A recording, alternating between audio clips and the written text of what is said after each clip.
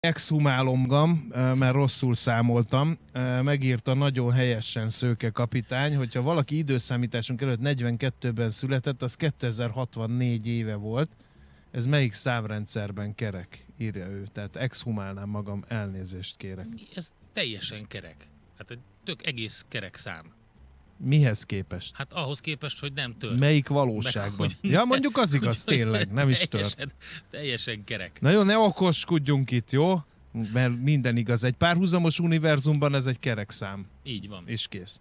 Na, az a nézzük. Kérdés, András, hogy ezek összeérnek-e a végtelenben, a párhuzamos univerzumok?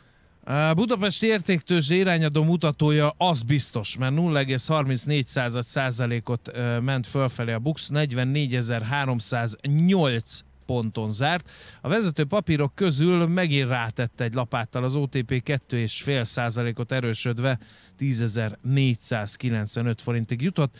A Richter MOL párosnak már nem volt ilyen jó napja, sőt a Telekomnak sem.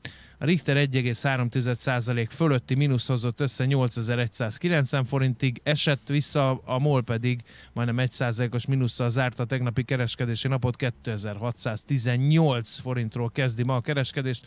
A Telekom pedig 1%-os mínuszt hozott össze, és 317 forintig ment lefelé, és belopta magát a vezető négyes köré, vagy közé a Waberers, amely nagyobb forgalomban, mint a Telekom, végül 0,44 százalékot tudott erősödni.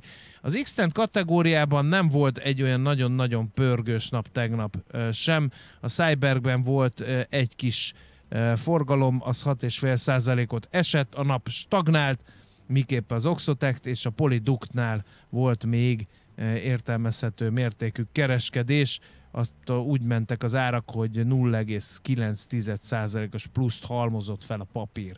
Hát ez volt tehát Magyarországon. A forintról még annyit mondjunk el, hogy a rakéta becsapódások hírénél volt egy nagyon meredek forintgyengülés. Természetesen ez nem csak a forintot érintette, hanem például a nemzetközi tőzsdéket is. Egészen jól szerepeltek az amerikai piacok, amikor ugye bejött az a hír, amikor is az első alkalommal történt meg, hogy az orosz-ukrán háború NATO területet érintett valamilyen módon. Konkrét információk nem voltak, de a befektetők azonnal reagáltak a fejleményekre. Volt egy remek hangulatú kereskedés, és gyors zuhanás, zuhanás követte és majdnem, hogy stagnálás alakult ki a vezető papíroknál, illetve a vezető részvényindexeknél. A jó hangulatból az lett, hogy 0,2 Dow Jones emelkedés jött csak össze, 0,8 S&P és 1,4 Nasdaq, tehát a Nasdaq tartotta magát a legerősebben.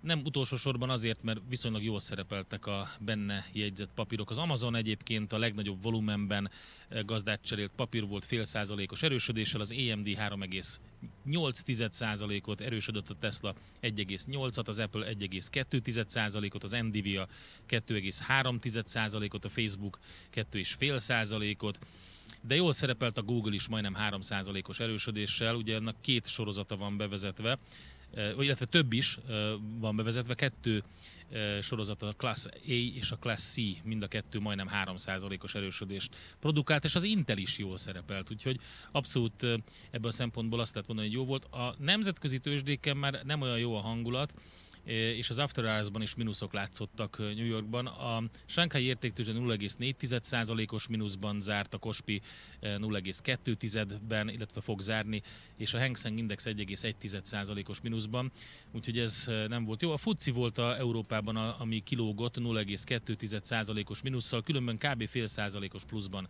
zártak az európai tőzsdék is. Itt is mutatkozott a hirtelen hangulatváltás, úgyhogy ez biztos, hogy egy nagyon fontos info lesz a mai napi kereskedésre is, hogy mi történik, milyen megoldások, tények jönnek majd erről a rakétabecsapódásról.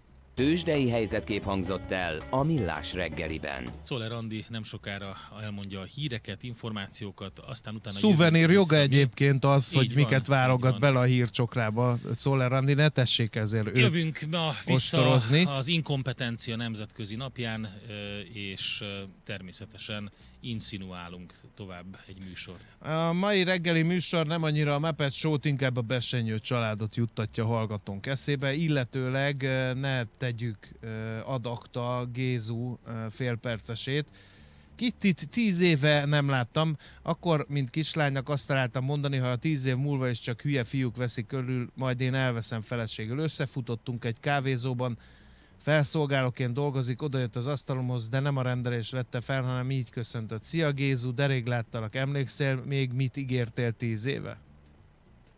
Hát, kérem szépen, nagyon vigyázni kell. Nem lennék egy Nagyon Gézu. vigyázni kell ezekkel az ígéretekkel. Igen. Uh, úgyhogy uh, hát mi más jönne, mint akkor Czoller Andi és hírei, mi meg addig lepihenünk. Nézd a Millás reggeli